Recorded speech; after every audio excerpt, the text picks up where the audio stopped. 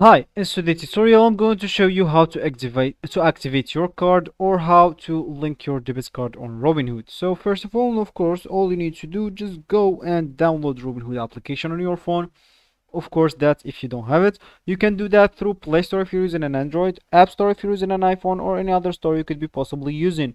Then you would like to go and actually sign up to create your account. Of course, if it's your uh, first time, uh, you will need to create your accounts by clicking at sign up. If you already have an account just ignore all of that.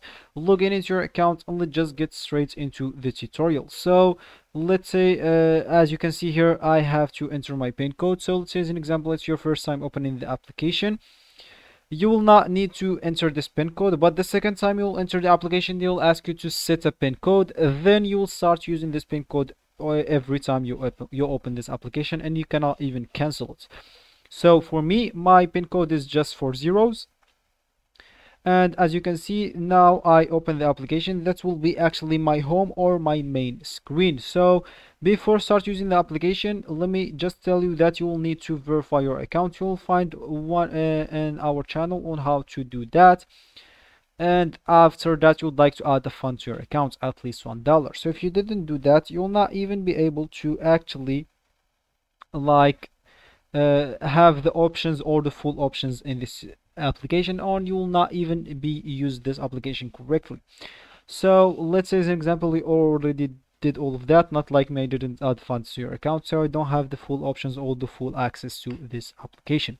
So let's say I already do that. So uh, if you are actually using PC first sorry so if you're using actually a PC uh, and you want to activate your card, you would like to go to uh, the spending tab. At the top uh, of the page tab at let's get spending activate card tap the yes button then turn on the spend alert or and turn on the location protection. Of course that's this two this last two are optionals. And in the phone if you want to activate your card or the link your debit card or Robinhood of course the the uh, the both both of them are the same. All you need to do just go to uh, the uh, to your account here icon at the bottom right corner. Then of course if you have the full options here you will find an option or yeah uh, a section called transfers. Just go and click on that. Then you would like to click at linked account then tap at add a new account of course that's just the bank account or the debit card number.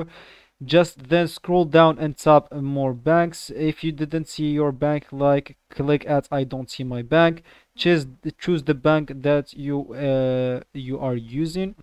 After that just go actually link your bank account and you will be actually good to go. So this will be actually for the tutorial. I hope you guys like it. Thank you guys for watching goodbye